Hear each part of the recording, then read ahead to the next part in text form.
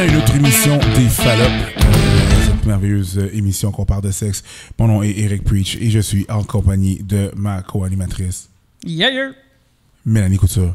Oui, c'est moi. Mélanie Couture. Mélanie Couture, pas sexologue.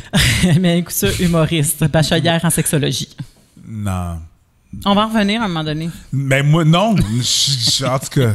On parle de quoi, Preach, aujourd'hui? On parle de quoi? Euh, on va parler. Bon, ok, la petite musique de.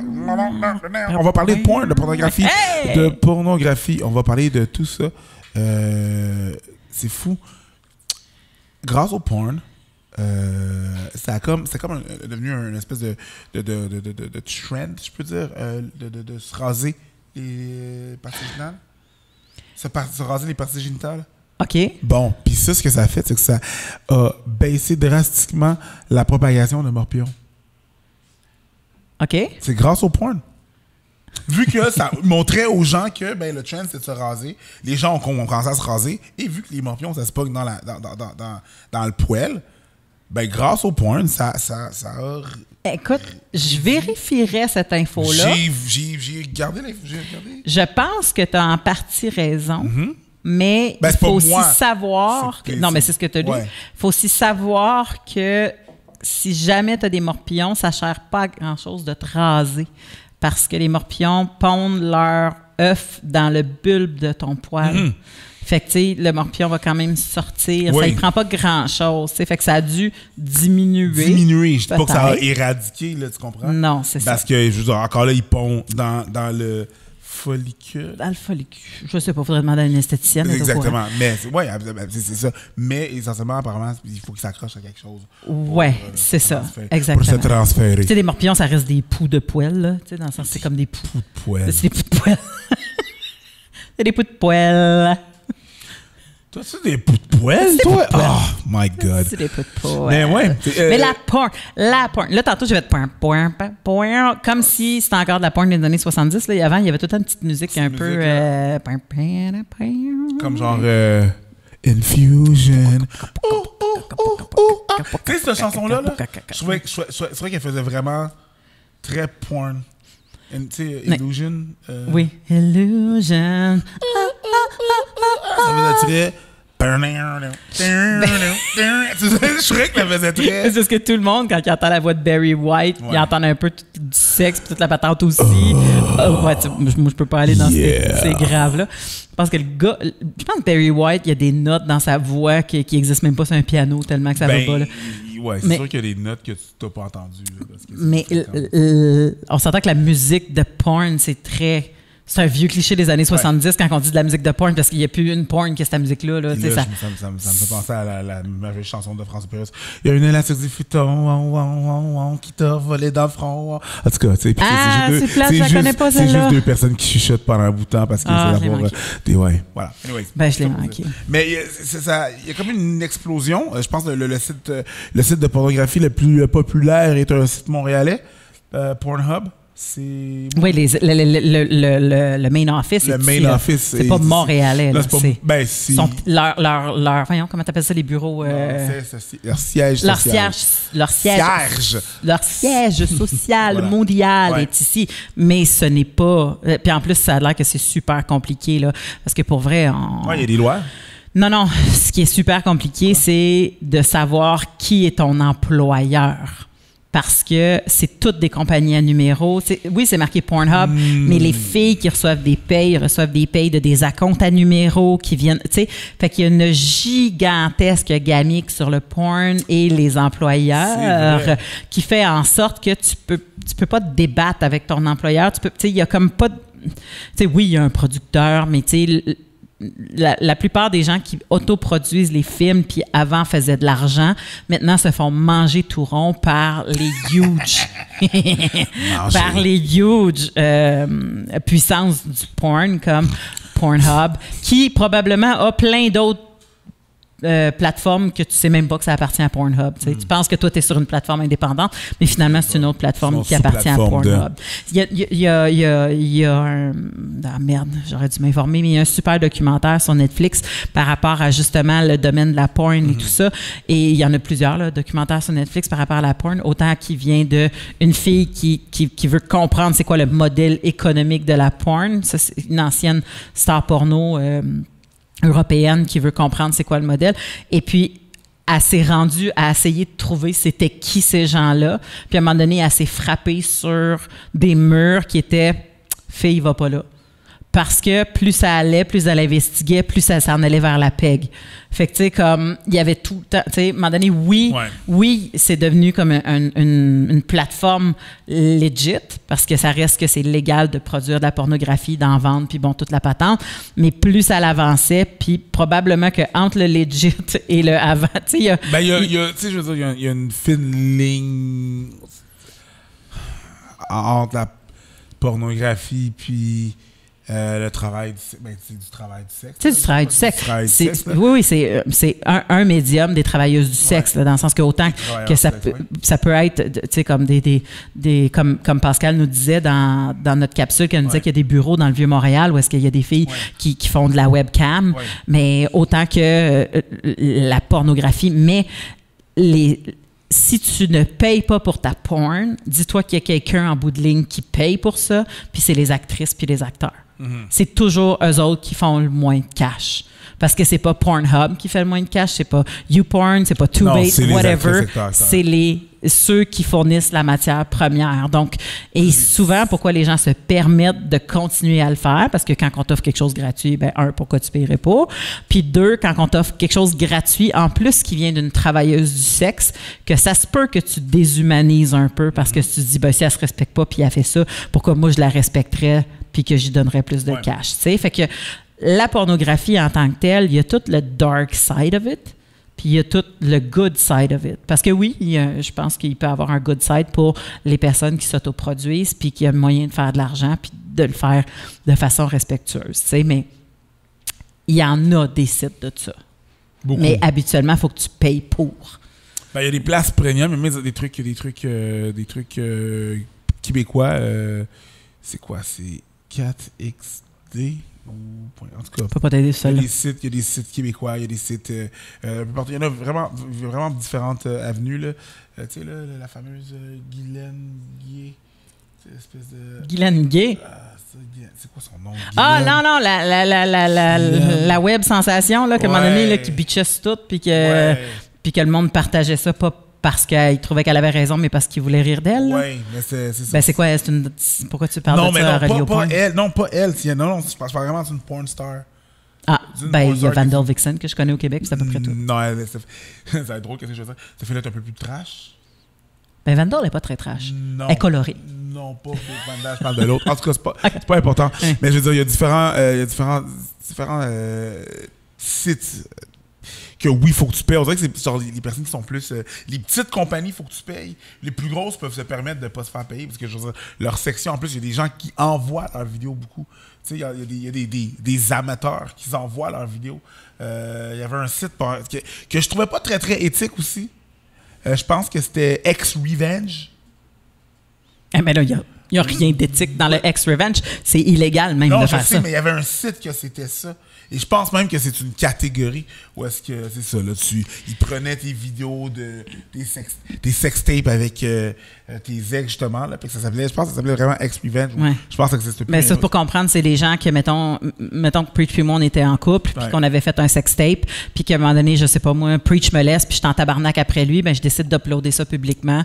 Puis, tu sais, comme c'est une revanche contre lui qui Ouais. m'a peut-être trompé, mettons, je sais pas quoi. Tu sais, dans le sens que ça serait ça, là, une une revanche que quelqu'un Ouais, prend. c'est ça que ton ex mais, prend. Mais en, en- en diffusant du matériel pornographique de quelqu'un qui n'est pas consentant. Fait que ça, ça c'est illégal. Donc, peu importe à quel point tu es en crise, brûle son linge à la place, là, ça va te faire moins mal. euh, Ben, même à ça, c'est illégal.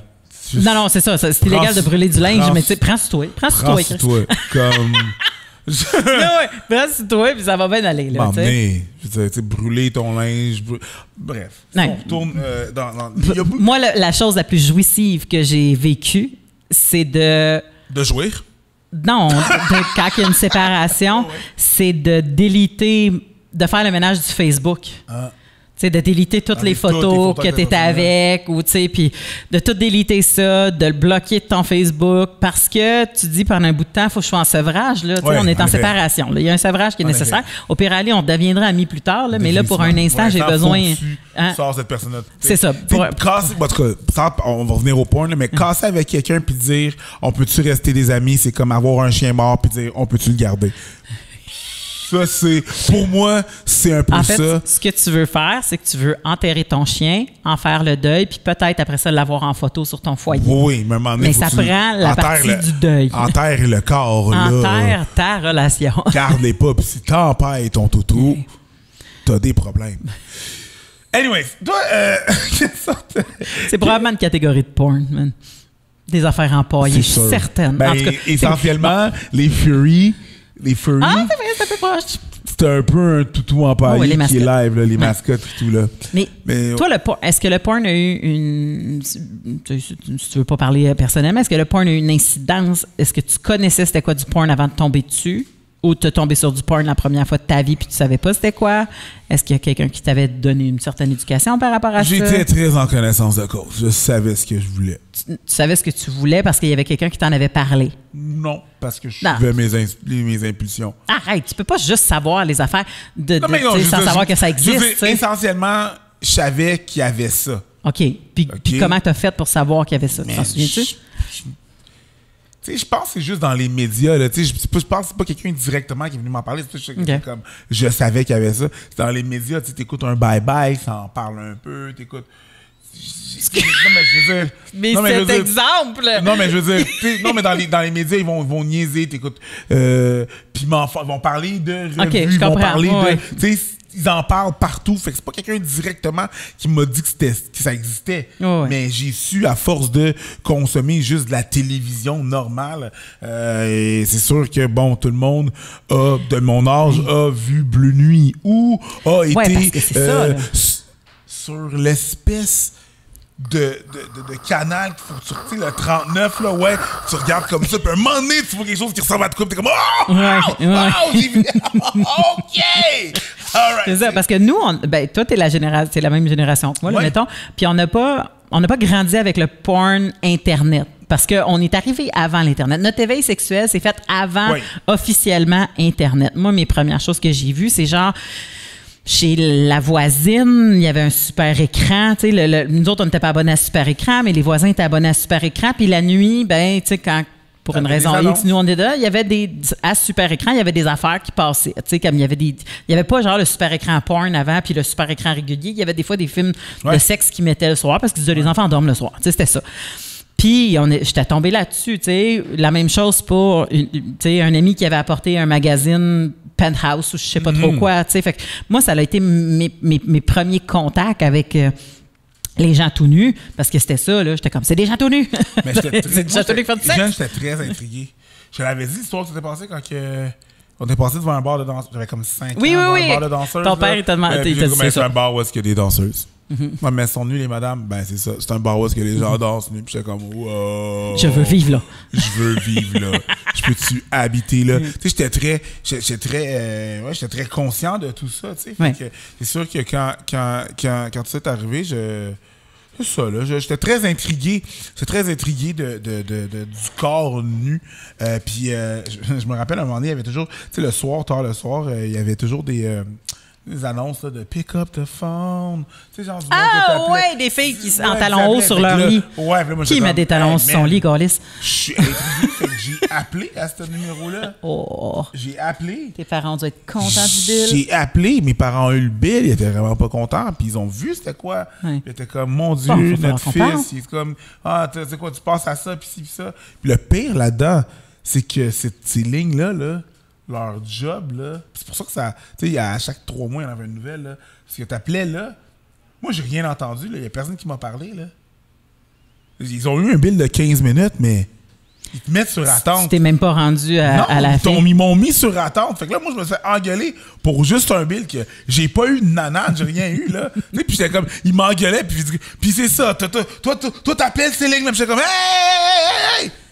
Pas parler à personne. Mais c'est ça que tu voulais. Ben, c'est ça que je voulais. Non, ben, c'est Mais ça. Fait qu'il faut quand même en parler. C'est Fait ça que que c'est ça, c'est clair, c'est ça que je voulais. Si J'étais tu très avais, intrigué. mettons, là, avec ce qu'on sait du porn, si tu avais maintenant à, à parler à un jeune preach, Ouais. un jeune preach que, qui a l'ordi dans sa chambre, qui est, qui est devant lui, ouvert en permanence, Je pas de code te- te parental, tu rappeler que dirais je- quoi? Je, je te rappelle que c'est ça, je, je suis haïtien, il n'y a pas d'ordinateur dans ma chambre. c'est pas quelque chose qui existe. Là. De la même façon que j'allais pas coucher chez mes amis, c'est pas quelque chose qu'on fait. là. Bon. Bon. Moi, j'allais coucher chez mes amis. Il n'y avait pas d'ordi dans ma chambre Ou non pas plus. de caille. Puis il n'y en aurait pas avec mon enfant non plus. Pas de maison. Mais ouais, ouais, bref. Continue. C'est quoi ta Pas de question? maison. Ben, OK, regarde, vas-y avec un synopsis, Ouais. là, puis une hypothèse. Parfait. Il y a un jeune de ton âge, un jeune toi, là, un preach de ton âge qui a accès à l'ordinateur dans sa chambre ou, tu sais, peu importe, il y, a, il y a une tablette, il y a un téléphone. Tu, tu dis quoi par rapport à la porno? J'ai dit que c'est pas la réalité. Je je lui mens pas. Je suis pas dans, le mensonge. Je dis, Pour vrai, oui, c'est le fun. Tout ça, c'est le fun. Mais c'est pas la réalité. Ça doit dépendre à quel âge. S'il y a 9 ans. Hey, même à 9 ans, pour de vrai, là, je, je vais dire, ouais, tout ça, c'est le fun. Je ne veux, pas- je veux pas me mentir à- pour dire non, c'est pas bien, c'est pas correct, puis culpabiliser ça. Je Mm-hmm. dis non, non, tu sais, je veux pas te mentir. Oui, il y a un plaisir là-dedans, mais ça peut être dangereux. OK? Faut que tu, faut que tu saches que là, présentement, tu sais, je veux dire, t'as 9 ans, là, c'est pas pour toi, là. là. C'est pas, c'est pas, c'est pas conçu pour des gens de ton âge.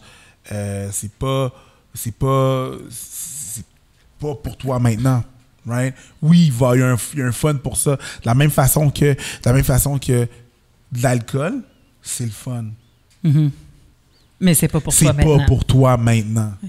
C'est c'est pas, c'est pas, c'est pas rendu là pour Ouais. voir ça. Il y a une raison pourquoi il y a un âge limite. T'es pas tant en âge non plus que je t'explique pourquoi tout. t'sais. Fait que des fois, il y a des affaires que. Des affaires pas tu comprends pas. Mais ça, c'est pas pour toi. L'alcool, comme- oui, y a, y a les- tu vois des gens qui boivent de l'alcool. Puis c'est, ouais, mais d'abord, c'est, pas, le- pourquoi toi tu regardes, pourquoi telle personne, toi t'en regardes-tu? Je comme, regarde, ça peut arriver, mais c'est pas Mm-hmm. fait pour toi. De la même façon que de l'alcool, c'est pas, c'est pas, c'est pas pour toi. Il y a Mm-hmm. Certaines choses qui vont pas être pour des enfants, tu sais, pas.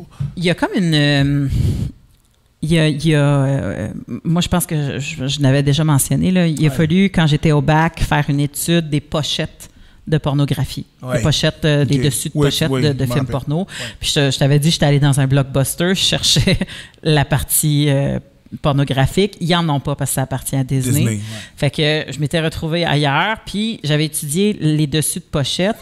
Je sais où c'est que t'as été. Tu te souviens la vidéo Ben oui. VN? Je La t'en avais parlé. Toi aussi, tu connais la vidéo VN? Vidéo VN, la plus grande sélection de toutes! Oui, deuxième, étage, au complet. Deuxième étage au complet. C'est- ça, c'est South Shore Represent, comme on dit. Si tu viens pas de la rive sud de Montréal. Longueuil, Saint-Hubert, Greenfield Park, t'as aucune idée de quoi qu'on parle. C'est à nous. Mais bref. Mais on s'en sortait pas. La fille était rarement la personne qui était en charge, là, tu comprends? Était toujours en position de dominer, d'objet, de, tu sais, souvent on voyait même pas sa tête. C'était tout le temps des affaires que c'était des bouts de corps coupés. Ouais. Tu sais, comme, fait qu'il y a une, une euh, tu sais, qu'est-ce qui, qu'est-ce qui différencie l'érotisme de la pornographie? C'est que la pornographie a des traits, des, des plans rapprochés sur les organes Ouais. génitaux, ce qu'il n'y a pas dans l'érotisme. L'érotisme, c'est un tout, tu sais, comme il y a, il y a deux personnes, il y a une personne, il y a quatre personnes, on s'en fout, mais Dans- il y a la- un tout. L'humain est considéré beaucoup plus que le geste en tant que tel. Dans la porno, les angles sont faits pour voir les organes génitaux et l'action. Tandis Oui. que dans l'érotisme, les angles sont faits pour pas voir les organes génitaux. Exactement, exactement. pour cacher les organes Puis- génitaux et puis la à un point tel que nous, on le voit pas dans le porn, mais ils se font. Quand, ça, ça arrive souvent là, que le réalisateur va faire Attends un peu couper, tasse-y les cheveux, tourne-toi un peu plus par là, on n'a pas le bon angle. Euh, Tu sais, quand tu vois un gars là, qui, qui est debout avec une patte sur une chaise, euh, puis Il qui est comme, il, est- il est confortable. comme courbé, comme, Ouais. comme s'il y avait une scoliose, puis qui est en train de faire ça de même. Ouais. Mais c'est juste pour donner une ouverture au plan de la cam parce que pour vrai, il- il- la seule affaire qui touche à la fille, c'est à peu près sa graine, tu sais. Puis, puis des fois, sa main quand il claque le cul. Fait que, tu sais, à un moment donné, tu fais comme. C'est c'est pas fait. C'est loin d'être ce que tu vas retrouver dans le lit de deux individus qui sont pas en train de donner le spectacle qu'ils sont Clair, en train de regardes- donner. Quand tu regardes la, la porno, il faut, faut, que tu, faut que tu te prennes en compte. Il y a une personne qui tient la caméra. Toujours. Tu vois un plan en qu'une. dessous. Tu vois un plan en dessous. Il y a une personne qui est en dessous. Là. si tu, si tu vas moindrement voir des photos de comment que ça se fait en porn, des fois, tu vois des gars qui sont dans des positions encore pires que le gars qui est en train de faire l'acte. Ouais. Il y a les gars, à deux pouces de la face pour pogner la shot. Tu sais, comme il se passe des affaires que tu jamais tu penserais. Fait que, tu sais, quand on dit c'est pas la vraie vie, c'est pas juste parce que c'est deux personnes, puis tu sais, comme c'est pas vrai que le. Bon, là, je vais prendre un vieux cliché, là, mais c'est pas vrai que le gars va arriver à la porte de la maison, puis que le monde va se mettre à fourrer, ou Ouais. qu'il va rentrer dans une chambre la nuit, puis toucher à une fille qui dort, puis que là, la fille, elle va se réveiller, puis elle va faire Ah oui, je veux. Bon, Ouais, non, c'est- faites pas ça. mais faites pas ça. Mais c'est pas juste ça quand je veux dire que c'est pas vrai. C'est que ch- les actions en tant que telles ne sont pas vraies. Oh, mais pas Le- dans ouais, c'est ça. C'est pas le scénario qui est pas vrai. c'est ça. C'est l'action elle-même. Il y a beaucoup de, il y a beaucoup de montage. Il y a beaucoup de trucs. Euh, Si je peux prendre un exemple, euh, j'ai fait Tout le monde en parle il y a pas longtemps, puis toi aussi, Ouais. euh, brag. Brag. Puis on a fait Tout le monde en parle, puis dans Tout le monde en parle, à un moment donné, tu vois Guy A. Lepage qui verse du vin à tout le monde. Ah, ça va vite, tout le monde a du vin. Ça prend beaucoup plus Oui, de temps. C'est long, la passe ça, Hey, la passe Moi, c'était du champagne, c'était la dernière de l'année. Il a popé le champagne. C'était- long, là. Il a versé du vin à tout le monde, puis il a passé. Puis ça a pris du temps. Mais à la Ouais. télévision, tu regardes ça un dimanche soir. Clic, clic, clic. C'est rapide. Tout le monde a son. Mais faire oui. cheers. Mais ben, oui. c'est un peu la même chose. On voit pas la préparation. Tout le monde est prêt. Tout le monde est. Tu sais, c'est ça, la Puis il y a préparation. une grosse préparation des actrices aussi avant. là. Les, les actrices sont professionnelles. Là. Fait que, comme elles, à chaque fois qu'ils ont une scène, tu sais, mettons qu'ils en tournent peut-être comme une, deux par semaine, je sais Ouais. pas, tu sais, comme à chaque fois qu'ils ont une scène, souvent ils ont un rituel. là. le soir avant, ils mangent telle affaire parce qu'ils savent que, bon, tu sais, il- fait que tout est planifié en fonction de, il faut pas trop je pète, il faut pas trop je. Tu sais, comme tout, tout, tout, tout. Fait qu'il y a rien de naturel, de spontané, de. Peu importe à quel point que la porn essaie de te faire croire que c'est spontané, il y a rien de spontané là-dedans. Il n'y a rien de spontané à un point tel que que, je veux dire, comme il y a eu des plateaux avant, quand il y avait plus de budget, qu'il y avait des maquilleuses qui passaient poudrer des vulves parce que, tu sais, Poudrer comme. des Non, non, mais parce que c'était plus beau quand ça avait l'air d'une petite pêche poudrée, tu sais, versus, euh, je sais pas, ben, un rose beef, un smoke meat, n'importe quoi. Tu sais, mais. C'est bon, du smoke meat. Ben, je suis tout à fait d'accord. Euh, mon magasin est ouvert. non, non, c'est pas vrai. On sait pas ce que ça veut dire, On ça. sait pas ce que ça veut dire. Mais, fait que c'est ça. Mais, mais, mais, mais tout. Et, et pourquoi, quand après ça, tu dis, ouais, mais quand je regarde du porn amateur, c'est du porn amateur, puis tu fais. Non, chou. Du porn amateur, c'est du monde qui copie des stars porno parce qu'ils veulent que leur vidéo soit comme le monde. C'est une copie d'une copie. c'est une copie d'un idéal. C'est ça. Ben, d'un faux idéal. oui, parce d'un- que pour faux vrai, idéal, mais il y a- tu veux dire, un idéal est pas- Le plaisir est chez qui? chez la personne, Majoritairement. la personne qui regarde. Parce que même le gars, c'est pas, du plaisir encore, parce que même le gars, tu parles de la fille qui subit, mais même dans le travail de la chose, yo, t'as des gars qui s'injectent, le gars, il faut qu'il reste concentré, tu sais, il y a peut-être, euh, pour un gars, il faut, faut pas qu'il déborde, il y a, Mm-hmm. il y a 10 personnes, tu sais, là, on fait un podcast, on est deux qui parlent, ben, il y a 5 personnes dans la salle, là, présentement, là, tu sais. Vous en voyez juste deux, on est 5 en réalité. Exact. Vous pensez que ça se passe ici, mais ça se passe vraiment tout là, ici. Le gars, il faut qu'il prenne en compte. Là, on fait juste parler, mais il faut que tu te restes- concentres. Tu vois, là, on est en train de parler. Mettons, si on prend exemple de la porn, on est en train de parler, right? Il y a du monde dehors qui passe. Il y a des autos. Je peux pas me laisser distraire par ça. C'est c'est compliqué pour le gars aussi. Oui. Ouais. De ce que ça a l'air, la fille subit, mais si tu regardes le travail de la chose, Oui. aussi, C'est un c'est- travail. C'est un travail, c'est une job. C'est exactement ça, c'est un travail. Job, le gars- les, les deux sont pas comme oh mon dieu c'était tellement le fun on recommence demain tu sais ils sont brûlés les deux après Puis c'est une notion de performance. Ouais. C'est la pire chose qu'il faut que tu mettes dans ton sexe chez vous à la maison. C'est la petite notion de performance. La journée qu'on va arrêter de s'en mettre ses épaules pour pouvoir durer plus longtemps, le faire plus souvent, venir moins vite euh, ou venir plus vite, euh, tu sais, comme. Et, et, et, et oui, sexuellement parlant, c'est excitant. venir ensemble hey pour de vrai le nombre de fois que c'est arrivé en 21 ans deux peut-être C'est pas vrai, là. Non. C'est tout pas vrai. Ça se peut. Je dis pas que ça se peut Ça se pas. peut, mais roule des c'est dés, pas là. supposé d'être un relationship goal d'avoir de l'air de de la porn. Non, oui, c'est tu ça. peux dire, hey, à soir, on joue-tu à la porn? Parfait. It's one night like this. Mais si tu penses que la sexualité, ce n'est que de faire du copier-coller de porn, je pense que tu passes à côté d'une sexualité qui est beaucoup plus gratifiante, Ouais. beaucoup plus satisfaisante, beaucoup plus euh, épanouissante que juste d'essayer d'avoir de l'air de ce que la porno fait. Et je ne chie pas sur la porno, on Non. ne chie pas Non, sur la porno. C'est un médium, ça existe, c'est là pour rester. Mais il faut acheter des bémols où est-ce qu'il y en a, tu sais. Exact. Pour avoir une, Exactement. mélodie, pour, avoir une mélodie complète. Oh, c'était cute, ça. ouais, des bémols. faut acheter des bémols pour avoir une, comme, une, une- une mélodie complète. Mais la porn, c'est en clé de fa. La vraie vie, c'est en clé de sol. On finit là-dessus. Wow! Ça peut pas être mieux. Come on. Ben, euh, c'est- Come on. non, pour de vrai, je pourrais jamais topper Pour ça. vrai, Tu viens de le- je Hey, pense. wow! Je pense qu'on l'a. C'est tout pour cet épisode des Fallops. Qu'est-ce que vous en pensez? Continuez à commenter euh, vos commentaires, on les regarde, on les lit. Euh, on vous remercie aussi pour ceux qui euh, nous suivent et continuent de nous suivre. Donc, ouais, continuez à commenter, à, pa- à partager. Merci d'être là. On apprécie vos étoiles sur iTunes aussi. Ouais, sur toutes les plateformes. Merci beaucoup.